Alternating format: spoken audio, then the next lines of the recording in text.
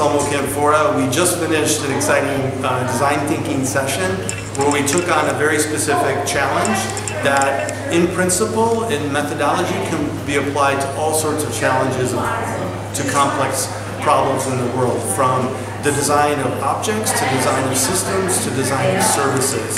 So what we attempted to accomplish today is to really develop a, a methodology to use in this regard. And so we're borrowing the IDEO diagram of uh, design thinking to show the various phases of developing a, a design towards a design challenge.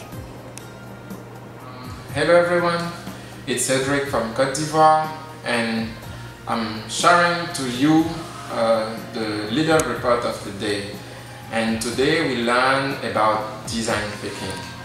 I want just to summarize the five steps of design thinking. The first one is empathy, the second one is define, defining the problem, the third one is the ideation, the fourth one is prototyping and the last one and the best one is the test.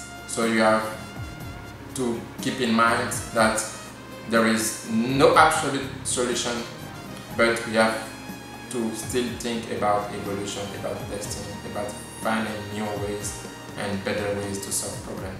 So thank you.